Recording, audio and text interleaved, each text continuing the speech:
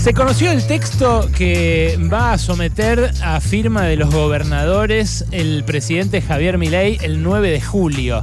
Un texto que curiosamente se titula Acta de Mayo y que, bueno, eh, eh, viene a reemplazar lo que supuestamente se iba a firmar en Córdoba el 25 de mayo y se iba a llamar Pacto de Mayo.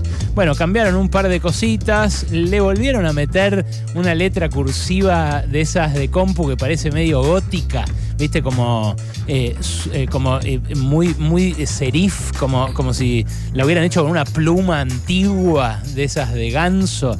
Bueno, la verdad, cuando lo miro, el texto, a simple vista, la primera sensación que me invade es la vergüenza.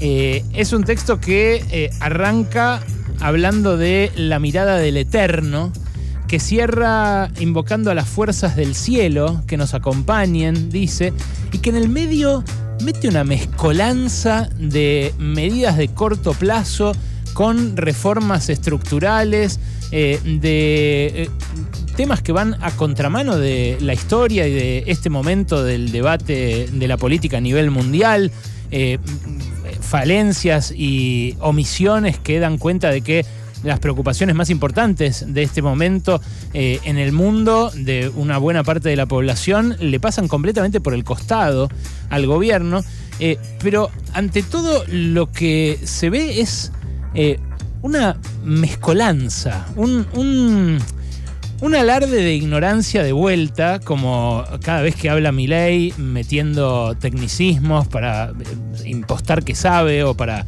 hacerle creer a la gente que no conoce esos tecnicismos, eh, que él sabe de lo que está hablando, eh, hacerlo más difícil, digamos, como para meterle pompa. pero vale la pena leer un par de los fragmentos para entender qué es lo que va a pasar el martes que viene, ahí en Tucumán, eh, cuando se junten, repito, un montón de gobernadores que probablemente firmen este pastiche.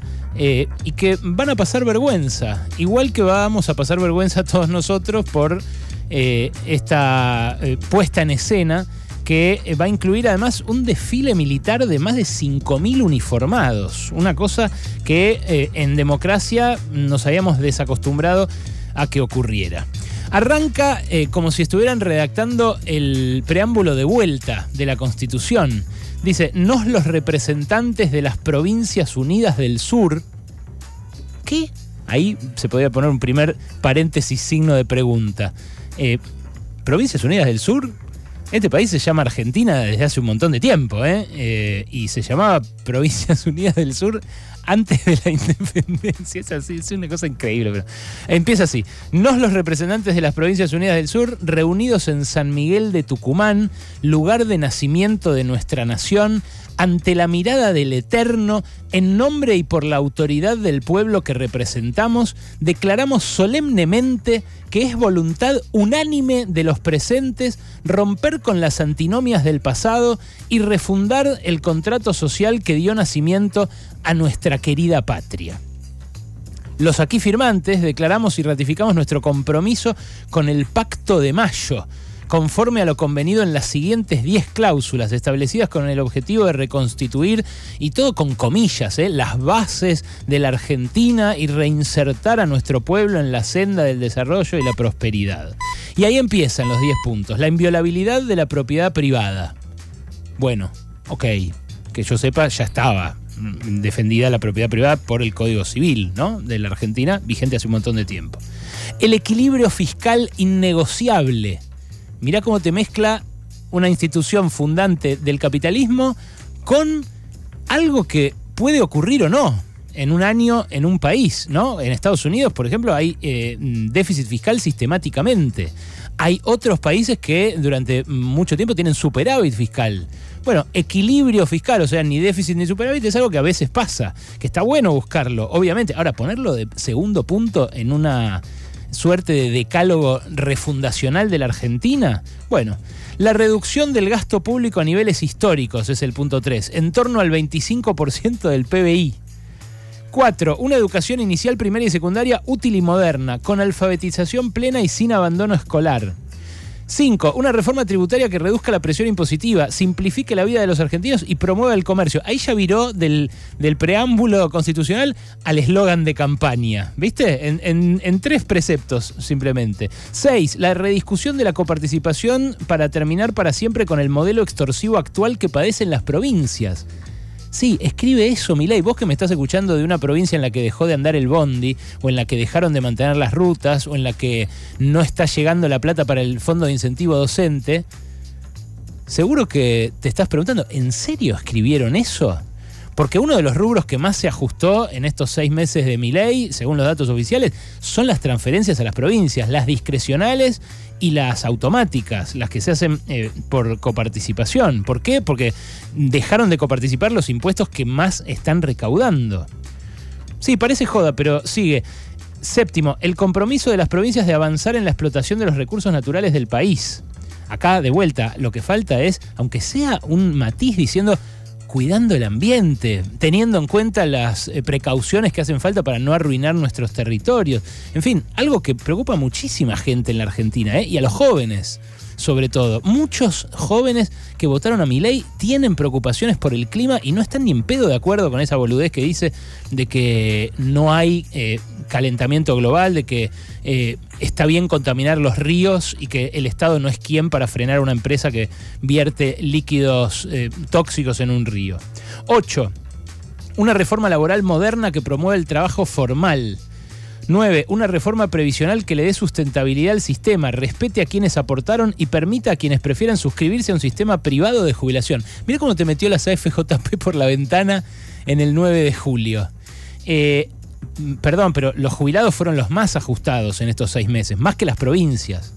Son los que solventaron casi la mitad del esfuerzo eh, implicado en la consecución del famoso superávit fiscal, del famoso superávit primario. Y 10, la apertura al comercio internacional.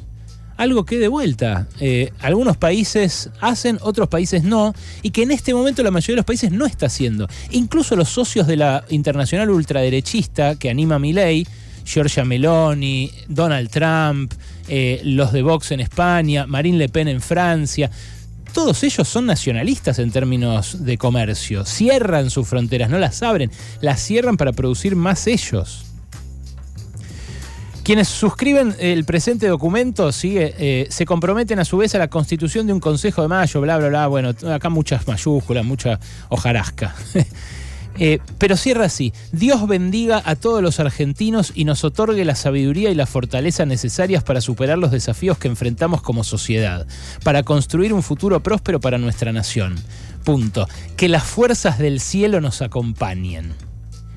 Y ahí vos ves que este, esta especie de decálogo medio trucho, versión de la salada del consenso de Washington de los 90, está introducido por eh, eh, una exhortación, una evocación a la mirada del Eterno, y está clausurado por este pedido de que las fuerzas del cielo nos acompañen.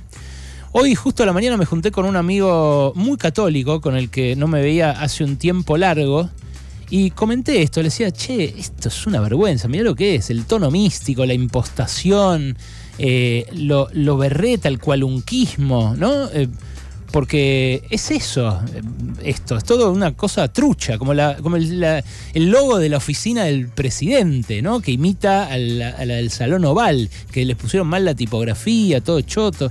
Y él me decía, cuidado, porque esto es algo regional más allá de la impostación, más allá de que a vos te pueda parecer una vergüenza que en un, eh, en un acto oficial, estatal, del Estado, que debería ser laico, eh, se hable tanto de Dios, eh, la verdad que esto no tiene que ver con la fe. Lo que hace es intentar aprovechar la fe.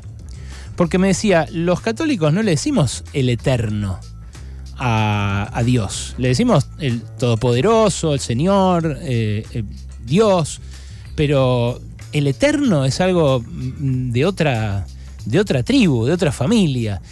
Y al final, la cita de las fuerzas del cielo, que viene de Macabeos, eh, que, es parte de la eh, conversión ultramística de Milei a un judaísmo ortodoxo que no representa en casi nada a los judíos que vivimos en Argentina, que venimos de la diáspora, que venimos de, escapar del holocausto, que en, nuestra mayoría no somos como los ortodoxos que rodean a Milei, de usar eh, sombrero, de seguir la liturgia, de, dejarnos los payers, de, usar la, a la mañana hacer los rezos que largamente hacen los ortodoxos. Bueno, yo cuando lo veo a mi ley, eh, hablar como habla de Moisés, decirle Moshe, meter cosas en hebreo, que yo la verdad que me da vergüenza, me, lo miro y me, da me da a veces pena, a veces vergüenza, pero lo que me decía este amigo es, ojo, porque esto es algo regional. Fíjate que este fin de semana se va a ver con eh, Bolsonaro en Camboriú, en Brasil. Y el bloque de Bolsonaro, ¿cómo se llamaba? El bloque de la bala, el buey y la Biblia. Y era así porque lo sostenían los pentecostales, que son muy fuertes, muy poderosos en Brasil y muy conservadores. Bueno, acá obviamente lo apoyaron a Milei, los pañuelos celestes que iban a combatir el aborto y a las brujas asesinas a la puerta del Congreso. Pero también Milei busca hacerle un guiño a la religiosidad y a la fe popular. En Bolivia, Fernando Camacho entró cuando dieron el golpe contra Evo Morales eh, con la Biblia en la mano al Palacio Quemado.